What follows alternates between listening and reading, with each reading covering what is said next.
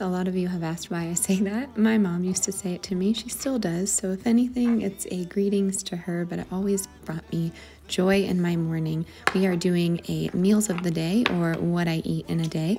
I'm going to take you along with me throughout the day and show you what we eat in the new year to be healthy for our mind and our body.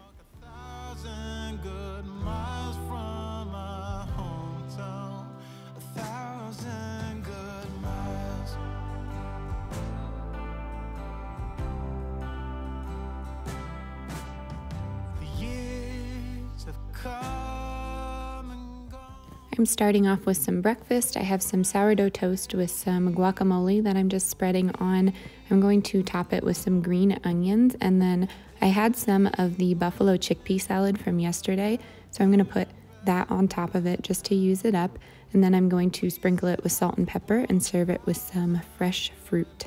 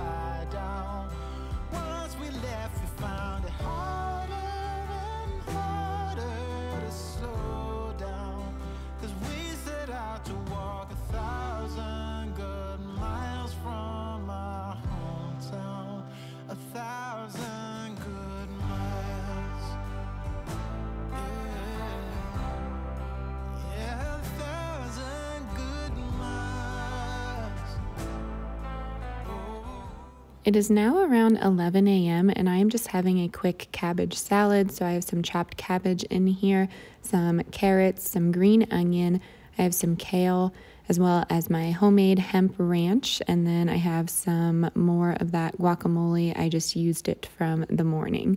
And the kids are snacking on some mac and cheese. Big shocker there. Um, we have some grapes and some sourdough little toast points that came with a salad kit. Um, the grapes are a new thing for us. I'm always nervous about them. The kids really enjoyed them, so I'm excited, but they still made me nervous. We just got back from Target and we're just going to throw together some burgers and um, potato uh, tater tots and then maybe some little naan and hummus on the side with some olives or something or maybe some vegetables. I'm not really sure yet where I'm going with this, but I'm going to get these in the oven.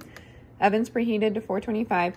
I like the Gardein plant-based burgers. I don't like that there's only two in a pack, but it's completely no soy um, and it's pea protein. And the ingredients are minimal and I know what they are. So that's nice too. Um, there is something in here. Oh, the coconut oil, but I mean, what are you going to do? So I'm going to put this in, and then we have the Omaha Steaks um, burgers that my dad got us. Shout out to you, Dad. And um, some cheese to go with that. And then I'm going to make some Thousand Island or like Big Mac sauce uh, over here. I'll show you how I put everything together. I always cook my burgers first so the meat burger doesn't get on it. Um, it has that beetroot powder in it to like have it look bloody or whatever, which is fine, I guess. Um, but I just sprayed the pan with some avocado oil and that is gonna cook on each side for seven minutes if frozen. All right, so I have that homemade mayo here that burger is going. I'm gonna put some ketchup in there and then, ow, that just pinched me. Um, I'm gonna do some pickles, just chopped pickles. And you can go a lot of ways with this, but I like to keep it pretty simple. I'm to do some seasonings, just some onion powder and salt and pepper, and that is my sauce. You could do, um, you could do horseradish in this, you could do onion, you could do, uh, what was the other thing, regular, um, what am I trying to say? I've seen it done with just regular cucumbers and not pickles. Uh, but yeah, this is what we're gonna have and we are gonna do some toppings here as well.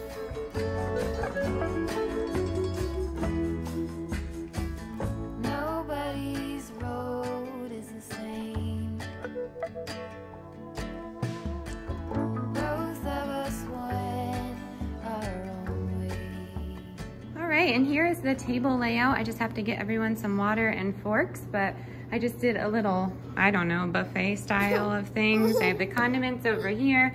I have one eager to eat, the other one not coming. um, that's okay though. And then I have my plate with the Gardein burger, my husband's plate with the regular burgers, and the kids have like a deconstructed version of it, and they have some more grapes. They really liked those. So yeah, this is what we are gonna snack on. Well, not snack on, this is our dinner. And I'll meet up with you later because I like to snack and I'll show you some of my favorite nighttime snacks that are semi-healthy.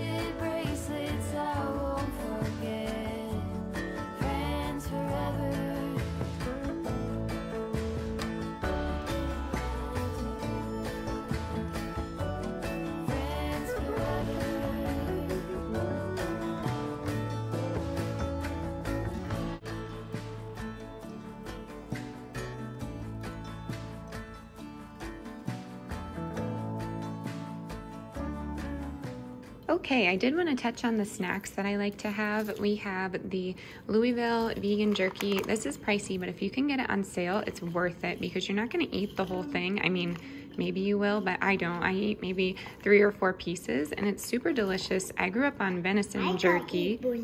You're gonna eat delicious? Okay. Yeah. Um, I grew up on venison jerky. Whenever um, anyone in the family got a deer, we turned it into bologna and jerky and all the things. But this is really tasty and they have really great flavors. So I encourage you to try that out. And then Skinny Pop. I love popcorn. I don't actually give it to the kids. Um, I, I heard. Mm, I don't think you've ever had it. Uh, you can do your research on that, but they say to wait until they're five. Um, I like the sea salt, and then Skinny Pop also has a white cheddar that's actually vegan, and it's really tasty. It's like a, I don't know, a vegan form. I don't think it's nutritional yeast that's in it, but it's really tasty. Um, I tend to go for the regular kind though, just in case I want to put something on it. Um, sometimes I put peanut butter powder and dark chocolate on it. Sometimes I leave it as is. There are times that you can put just like extra vegan butter, salt, and pepper if you want to be a little, I don't know, a little extra. And then fruit fruit I always snack on. I really love apples, especially McIntosh apples. Berries are really good. Um, I do snack on celery. I love celery and peanut butter. Um, carrots, snap peas, that those things I, I really do enjoy. I know some people are, it's hard to switch your bag of potato chips for things like that, but I've never found it hard because I was already snacking on the veggies, if that makes sense.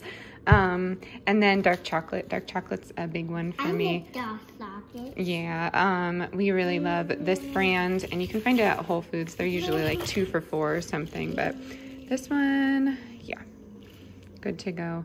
It says may contain may contain traces of milk, but it's just because um, it's produced in the same facility. But this is, yeah, this is made in Boulder, Colorado. So these are really delicious and we're supporting local. So yeah, that is my uh, vegan snack lineup, my go-tos. Of course, I try other things every now and again, but this is what I like to snack on. And I did want to go over some of my supplements with you because I know a lot of you in the new year like to look into that kind of thing. If you aren't taking any supplements, definitely look into that. Um, find a doctor. Don't just rely on me. But I mean, there are many benefits. Um, even if you are having a good diet, there are a lot of benefits to different supplements and um, what you could be lacking from the standard American diet.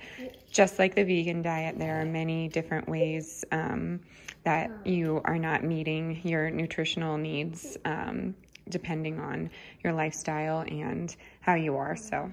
So this is my current lineup and what I was trying to say is like it, it really depends on your lifestyle and how you are essentially. If you're active, what you eat, um, when you eat, uh, your past uh, history, you could have some genetic things that come into this, but currently, right now, this is my lineup. So I take vegan omega 3s with DHA and DPA.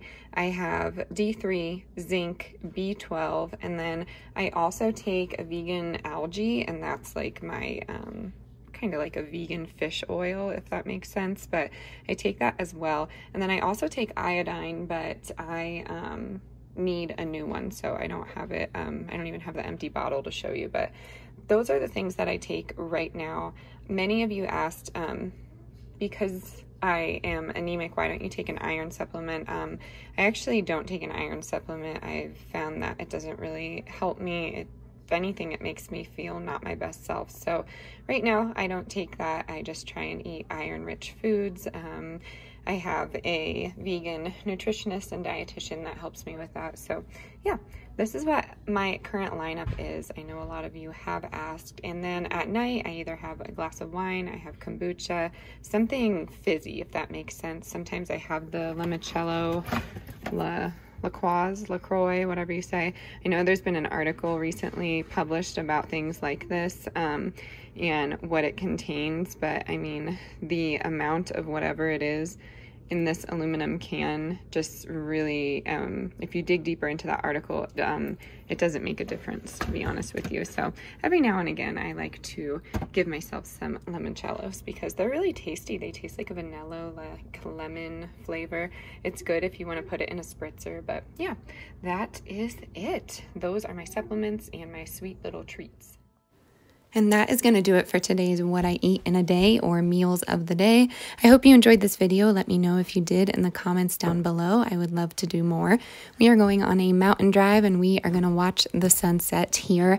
I'm going to leave you with the words of Grace Slick, but for me, it's not about all what I put in my body, it's about what I put in my mind. So feed your head. As always, stay adventurous, stay creative, and I will see you next time. Bye, everyone.